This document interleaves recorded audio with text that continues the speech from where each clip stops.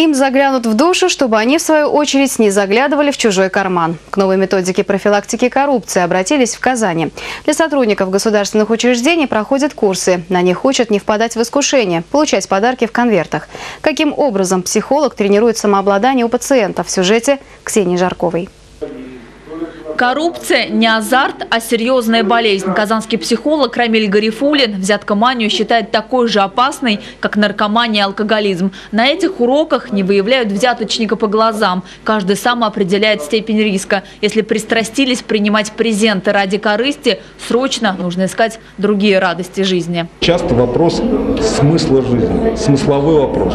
И когда у человека меняются ценности, это явление, оно просто автоматически уходит. Рыбалка мания, спортомания, любовь, какие-то увлечения. Вот, например, есть различного рода в этом мире зависимости, которые не так опасны.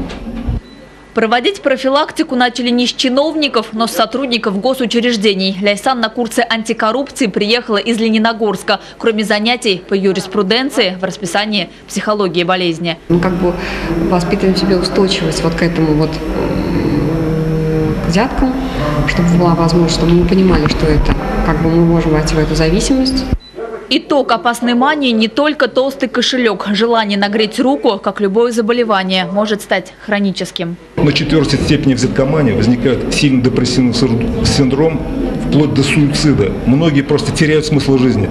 Стеклянные глаза, перестают чувствовать живого человека.